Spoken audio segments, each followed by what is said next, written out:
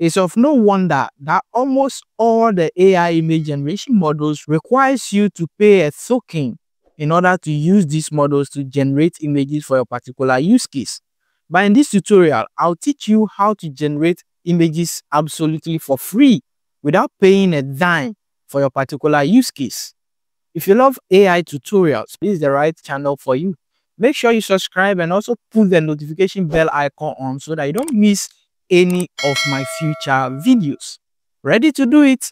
Let's get right into it. Alright guys, so in order to make this accessible for everyone to use, I'll be using Google Colab and I'll make sure um, I'll share the link to this particular Colab notebook in the video description. So just click on the link and it will open this particular Google Colab for you and you'll be able to generate your own custom images by just following this guide.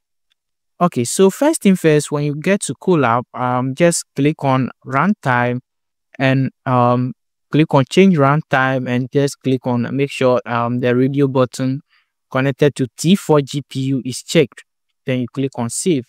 From there, click on connect and this will connect you to the free Google Colab GPU so that you'll be able to uh, generate images uh, very fast. I don't think this runs on CPU. I've tested it out and when you try to run this on CPU, you run into some errors. The next thing from here is to install all the packages you'll be using. So um, everything is prepared for you. So just run this cell and this will go ahead and install everything for you.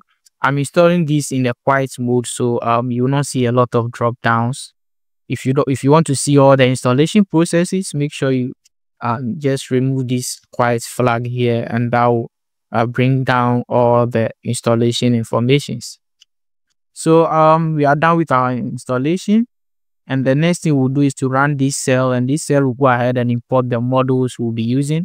So this model we are importing them from um, Hugging Face. So they are Hugging Face models. So I'll click here and I will import these particular models we'll be using. And the link to these models on Hugging Face will also be in the um, video description. You can use other models right there to do the same tasks.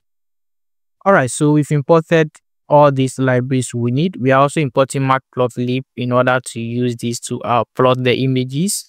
The next is to run this line and this line of code will get this particular model. So we are using the Stable Diffusion 2.1 uh, model. We also have 3.5, which is very heavy and generates uh, better images as compared to 2.1.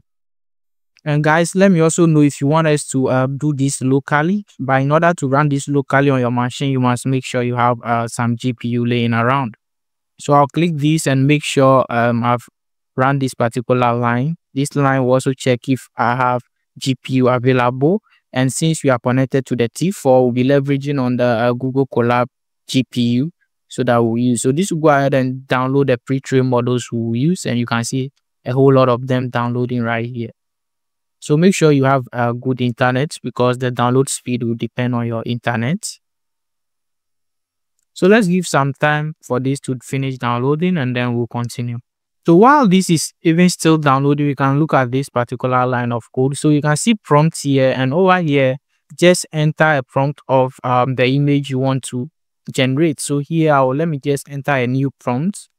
So guys, uh, the fact is, the better your prompt, the better uh, the images. So make sure you come out with a very good prompt in order to get uh, good images. So um, I'm just generating image of a cat sitting close to a dog and that's it. So from here, we'll pass this prompt into um, our pipeline. So we are passing the prompt. And also one thing you can specify is the width of your image. So you can specify the width and the height of the image. I'll leave this uh, thousand by thousand, but you can reduce this as per whatever you are going to use the image for. Then finally, we are using matplotlib to just uh, plot these particular images here. Nothing fancy on this line. So let's run this and this will take some time to generate the images as per our prompt. So it's generating and I think uh, this is speeding up so fast. So let's wait for it and see the type of image we'll get.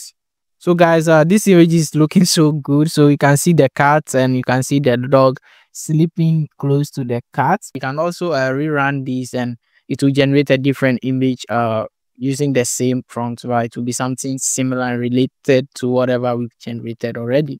So let's see um, what it generates again using the same prompt. So all you have to do is uh change this prompt and then uh you can get different types of images. So you can literally generate different different images just by uh, changing the prompt for free. Different images. So this time around, uh, we have the is it the dog and the cat here with some few cats. Uh, they are sitting on a couch. Some are just on the floor, and this is looking great.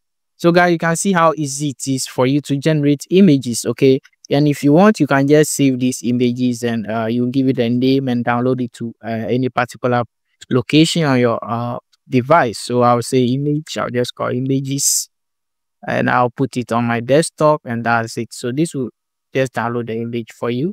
So very easy. So this all for this tutorial. Let me know if you want us to uh, set it up locally and run it locally. I'll be more than glad to take you through that process. So if you like that, just put it in the comment section.